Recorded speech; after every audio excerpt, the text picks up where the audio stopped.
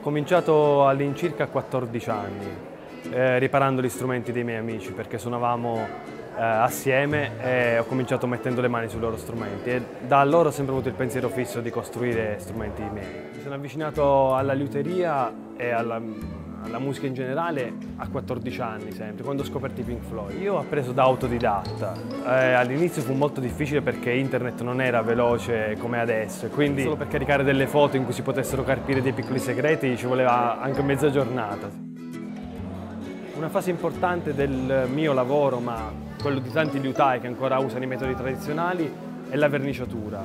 Eh, io vernicio gli strumenti totalmente a gomma lacca a tampone. È una tecnica che usa appunto la gomma lacca che è una resina naturale, disciolta in alcol. La verniciatura avviene appunto sfregando il, il pezzo da verniciare con un tampone imbevuto di gomma lacca.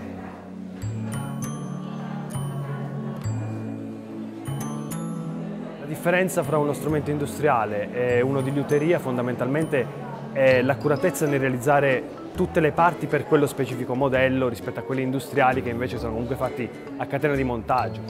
Il musicista che viene dal liutaio di solito delle, è un musicista molto esperto e che più o meno capisce anche un po' di, di liuteria. Eh, cerca dal liutaio quegli accorgimenti tecnici che non può trovare in uno strumento industriale.